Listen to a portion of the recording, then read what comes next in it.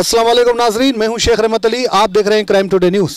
मुल्क के कई स्टेट में इंतबात की मुहिम, यानी इंतबात शुरू हो चुके हैं। वैसे ही तेलंगाना स्टेट में इंतबात के ऐलान के बाद 12 नवंबर से उन्नीस नवंबर तक की तारीख को उम्मीदवारों की नामजदगी का वक्त मुकर किया गया था। चुनाचे आज 12 नवंबर है। फलकनुमा में वाक़।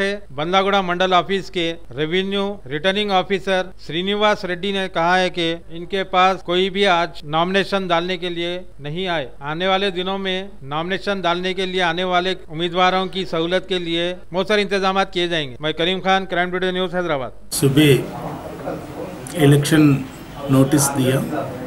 2018 जनरल इलेक्शंस, एमएलए इलेक्शन के लिए। नॉमिनेशंस आज से नाइनटीन तक 19 तारीख तक नॉमिनेशंस सुबह 11 बजे से आफ्टरनून 3 बजे तक नॉमिनेशंस ले सकते हैं इधर। ये नॉमिनेशन फॉर्म के साथ nomination form two B nomination form है। आ, हम लोग और मैं ऑफ़िस से फ्री ऑफ़ कास्ट इश्यू कर कर सकते हैं नॉमिनेशन फॉर्म नॉमिनेशन फॉर्म के साथ अफिडेविट ट्वेंटी सिक्स रहते affidavit twenty six all all columns fill up करना पड़ता। Ten rupees non judicial stamp में नोटरी करना पड़ता। Then notice certificate from all local bodies से नोटिस बोल के गवर्नमेंट नोटिस रहना then voter proof of voter recording registered anywhere in Telangana state and इसके साथ रिकग्नाइज्ड पॉलिटिकल पार्टी एक प्रपोजर एक वन वोटर बस है unrecognized political पार्टीज़ और रजिस्टर्ड parties 10 proposers रहना proposers रहना proposer भी नॉमिनेशन पेपर दाखिल करने के लिए ये उन्होंने कर सकते एंड कैंडिडेट में भी कर सकते नॉमिनेशन करने के बाद, ना फ़ाइल करने के बाद उन्होंने वोट देना पड़ता।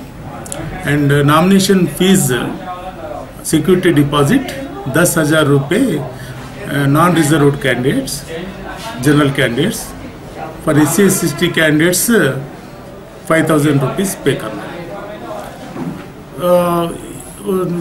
कैंडिडेट మన నామినేషన్ నామినేటెడ్ నామినేషన్ के लिए आने candidates some model code of conduct वो मेंटेन करना पड़ता वो हंड्रेड मीटर्स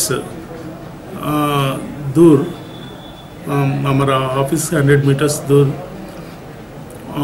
वो व्हीकल्स रोक रोक रोकना पड़ता एंड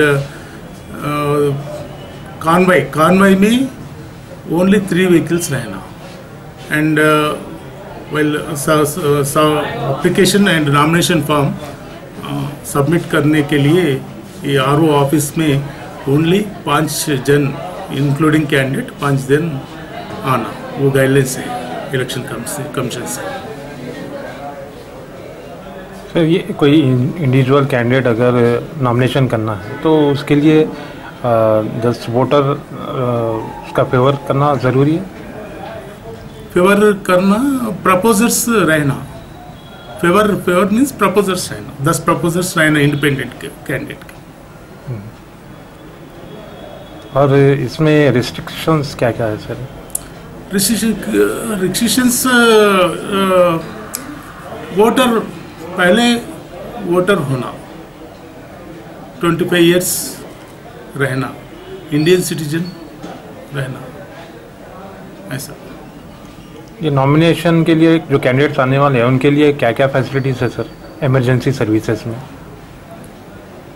क्या अरेंजमेंट अरेंजमेंट पूरा कर दिया। अरेंजमेंट फैसिलिटेशन हेल्प डेस्क है।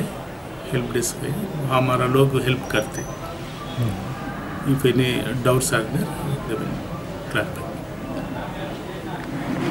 सच की तलाश का नाम आपका अपना क्राइम टुडे न्यूज़